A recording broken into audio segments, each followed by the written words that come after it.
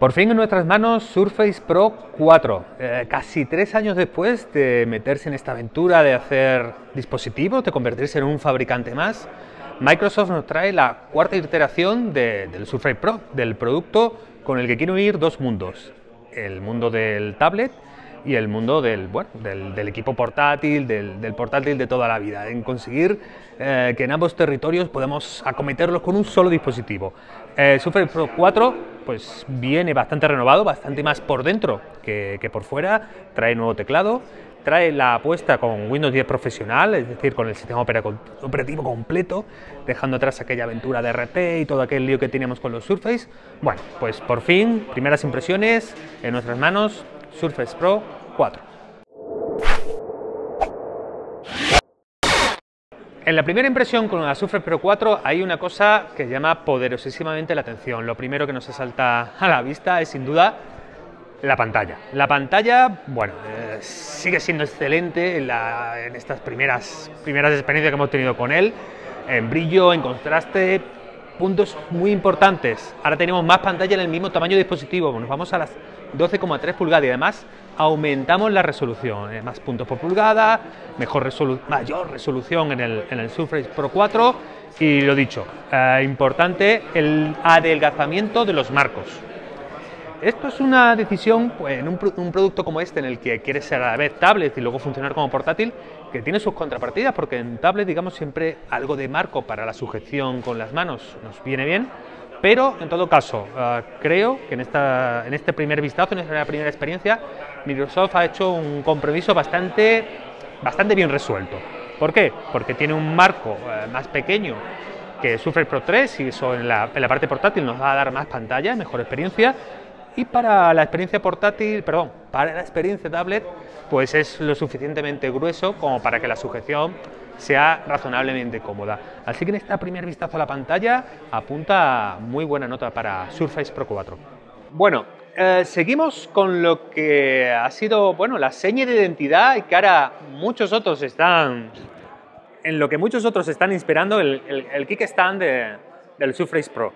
Eh, bueno, digamos que mantienen un poco lo que ya habían planteado, que sea flexible, que nos permite tener muchos ángulos, eso es muy importante, sobre todo a la hora de, bueno, tener una buena experiencia cuando tienes, estás obligado, por ejemplo, viajando en avión o viajando en tren, a mantener un ángulo determinado. Entonces, bueno, en esta parte, ah, de nuevo, pues bastante buen funcionamiento. Siempre tendremos un poco la duda, y esto habrá que probarlo un poco más a fondo, si han conseguido mejorar esa experiencia de cuando tienes el equipo no sobre mesa, sino sobre las piernas, cuando muchas veces tienes que trabajar, pues atendiendo una rueda de prensa, por ejemplo, en nuestro caso, y ahí es donde muchas veces el factor forma del Surface Pro le hace eh, palidecer un poco frente al concepto de portátil tradicional.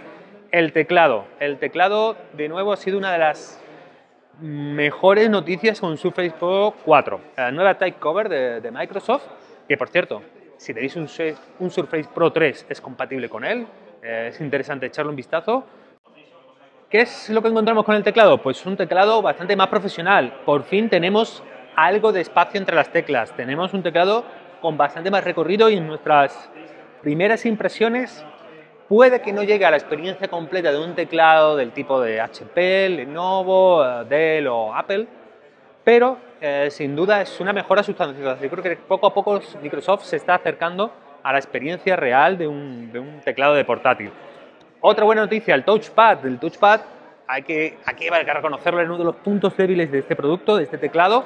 Ahora, bueno, ganan 40% de superficie. De momento, las primeras impresiones son buenas, pero eh, bueno, tenemos que va a ser uno de los puntos críticos del análisis de Surface Pro 4. Eh, ver si la conjunción de este touchpad de mejor sensibilidad según Microsoft y de mayor tamaño, que podemos contrastarlo a primera vista, junto a los gestos de Windows 10, nos consiguen dar ese, ese paso a llegar a igualar a llegar a competir, pues bueno, con la experiencia de touchpad que realmente ha liderado el mercado en los últimos años, que ha sido eh, la de Apple. Que no se nos olvide dos aspectos del teclado que también son bastante interesantes. Por un lado, tiene esta doble posición, para el que no quiera tenerlo uh, fijado a la mesa, pegado, tiene este, este, modo, este modo de funcionamiento con inclinación y tiene retroiluminación uh, configurable. Entonces, bueno, va a ser uno de los aspectos del análisis que sin duda pues más vamos a tener que mirar.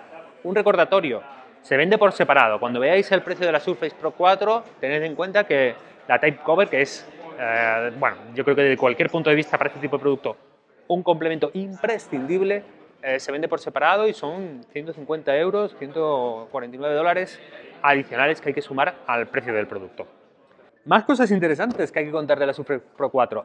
Eh, tiene, trae un puerto USB 3.0 Quizás aquí, para los que digamos que estamos más acostumbrados a un modelo de portátil tradicional, se queda un poco corto, pero bueno, ahí está el puerto USB 3.0. Trae eh, otro puerto eh, dedicado solo para la integración con el dock. Es yo creo que también uno de los aspectos más interesantes de este producto, el poder llegar a la oficina, a casa y conectarlo a un dock junto a una pantalla y de repente pues bueno, tener una muy buena experiencia de escritorio y que no se nos olvide, tenemos que hablar de esto, del lápiz que ha sido una de las señas de identidad de la gama Surface Pro. ¿Qué novedades trae? Bueno, tenemos el botón de borrar. Bueno, y sí, digo bien el botón de borrar porque además es clicable. La experiencia con el botón, eh, pues bueno, digamos, está muy integrada con, con Surface Pro 4 y con el ecosistema Microsoft. Un clic nos va a hacer saltar OneNote. Doble clic nos va a conseguir hacer una captura de pantalla y además nos la va a introducir directamente en OneNote. Y pulsación larga nos abre Cortana para que podamos hacer consultas e interactuar con el asistente de voz de Microsoft. Entonces, bueno, el, el, lápiz pasa a ser no solo un elemento de dibujo y de texto, que bueno, aquí ya Microsoft tenía una nota muy alta, es decir, los 1024 niveles de presión, una experiencia bastante buena, una bastante, bastante buena además con la mano apoyada en la pantalla, estaba muy bien todo ese tipo de interacción y además se convierte ahora en un elemento de eh, interacción adicional a complementar pues, a teclado y touchpad y, a la experiencia táctil de la pantalla, que no nos olvidemos. Parte del valor del dispositivo es que la experiencia eh, táctil la tenemos integrada. Último punto, el lateral es magnético, por lo tanto tenemos una eh, sujeción automática a la pantalla de Surface para bueno, ese gran problema que es proverbial con todos los equipos que disponen de, algún tipo de pen, que es la pérdida del mismo. Ahora tenemos un sistema magnético que lo eh, mantiene eh, pegado a uno de los laterales. En el lado en el que no da el puerto USB, pues tenemos una superficie bastante alargada que nos permite dejar aquí el lápiz con mucha comodidad y la sujeción parece bastante fuerte. Aquí siempre vamos a tener nuestras dudas Ah, porque bueno, esto eh, ya sabemos que los dispositivos que tienen oquedad suelen funcionar mejor para la no pérdida del pen, pero en este caso parece que una sujeción bastante fuerte. Lo probaremos bien en el análisis a fondo de, Surface Pro 4. Eh, Algo importante a la hora de afrontar eh, un producto como Surface Pro 4. En su interior vamos a tener distintas soluciones Intel, distintos SOCs, distintos microprocesadores y en función del que escojamos tendremos distinta potencia y distinto precio. En la capa de abajo, es decir, el, más eh, barato y menos potente va a ser la solución basada en Core M, que siempre en todos los equipos que, nos, que hemos analizado pues nos genera muchísimas dudas desde el punto de vista de la potencia y la productividad. Ahí realmente eh, tendríamos una, una pequeña alerta sobre si lo que buscamos realmente es un portátil portátil escoger una opción tipo Core M, creemos que todavía no está madura la plataforma, pero luego tendremos los Core i5 y Core i7 que nos irán dando más potencia eh, a cambio de más dinero. Por último, tenemos que hablar de un aspecto fundamental en el producto. Al final, el Surface Pro 4 se posiciona como algo, como un dispositivo pues, híbrido, convertible, que puede, puede servirnos para sustituir el combo tablet más portátil. La experiencia como tablet. Eh, como tablet, bueno, tenemos un discurso y un debate clásico acerca de, bueno, eh, de un equipo que se va a los casi 800 gramos, eh, que se va a 12,3 pulgadas, que es verdad que ahora tiene un poquito menos de marco, pero que sigue siendo voluminoso, y que por lo tanto como tablet pues tiene ese déficit a la hora de competir con los tablets puros. También tenemos el tema de la plataforma y del sistema operativo. El modo tableta de Windows 10 pues está bastante bien ejecutado, la experiencia de usuario eh, nos gusta y es bastante buena, pero tenemos eh, siempre eh, con, la plataforma Windows en el modo tablet y aplicaciones puras para tablet el déficit de que el ecosistema es bastante menos rico de lo que podemos encontrar pues, en otras, Android o, iOS con, el tema de, iPad. Bueno, y en este debate del ecosistema, pues la opción de Surface Pro 4, igual que cualquier opción con, con Windows 10 profesional o completo, tenemos todo el ecosistema y toda la riqueza de las aplicaciones ah, pues, pensadas para escritorio de Windows 10 y en alguna la experiencia táctil o pura tablet. Aquí, un inciso, mi favorita es, por supuesto, jugar al Civilization 5 en la cama solo con el tablet. Es algo que ninguna otra plataforma ha podido igualar hasta ahora, pues es más rico y más, y más completo y tiene todo, toda la base histórica de los desarrollos para plataforma Microsoft. En definitiva, la primera impresión con el Surface Pro 4 es bastante, bastante positiva. Es un producto que nos gusta mucho, un producto que no ha dejado de mejorar generación tras generación.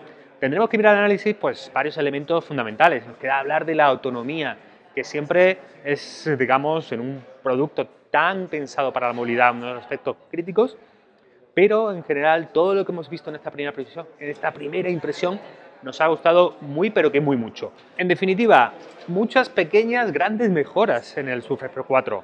Tenemos más pantalla en el mismo tamaño, tenemos cierto adelgazamiento del producto, tenemos una type cover que parece, es la primera impresión, que ha mejorado muy mucho y tenemos un lápiz que incluso en esta, en esta nueva propuesta de Microsoft nos da un poquito más de la buena experiencia que ya teníamos.